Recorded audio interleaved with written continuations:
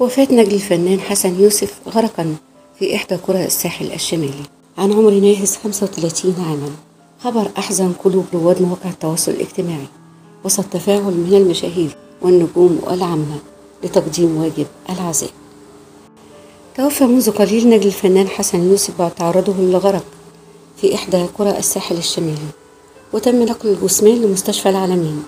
وتعرض نجل الفنان حسن يوسف ورضا عبد الله 35 عاما للغرق بقرية سياحية بمنطقة الساحل الشمالي أثناء السباحة وتم نقل الجثمان لمستشفى العالمين وتحرير المحضر والتحفظ على الجثمان تحت تصرف النيابة ومفتش الصحة بمطروح وتفاعل رواد مواقع التواصل الاجتماعي مع خبر وفاة نجل الفنان حسن يوسف.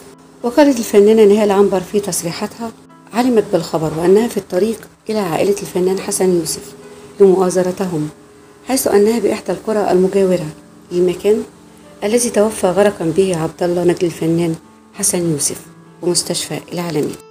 وعلق علاء مبارك نجل الرئيس الراحل محمد حسني مبارك على الخبر بتغريدة قال فيها البقاء لله وحده. أحسن الله عزاءك وغفر للفقيد وتغمده برحمته ورضوانه. والله يجعله شفيع لك يوم القيامة. وتوالت بوستات العزاء كالآتي.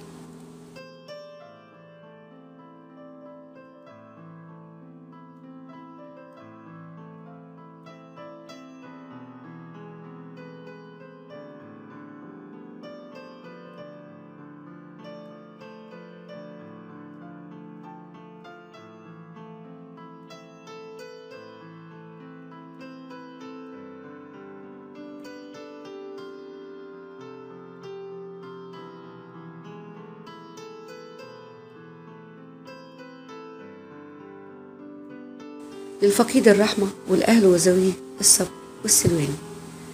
عزيزي المشاهد لا تنسى اللايك والاشتراك في القناة مع تفعيل الجرس ليصلك كل جديد. مع أجمل ورقة تحياتي وتحيات أسر الثقافة. ومعلومة تابعونا.